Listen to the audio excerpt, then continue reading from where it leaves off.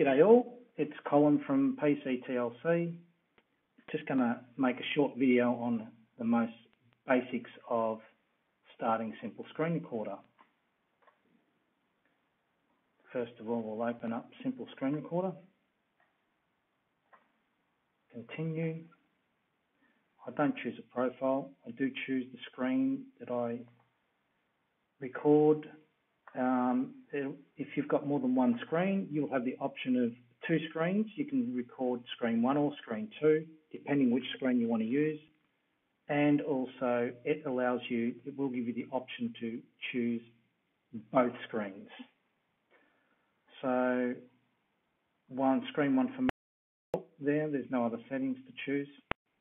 Uh, that's my headset speakerphone. I shall choose that and continue profile out of all these I normally use YouTube.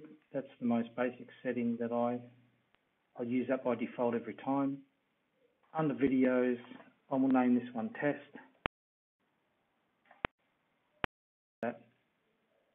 Now, separate file per segment. To start recording, you can press Control R, and to stop recording, Control R again.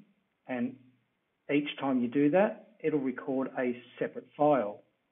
So whether you're wanting a separate file for each segment that you choose to stop and start, or you uncheck this and it'll make one big file. That just depends on uh, what you're looking at doing with the file once you put it into a video editing software program.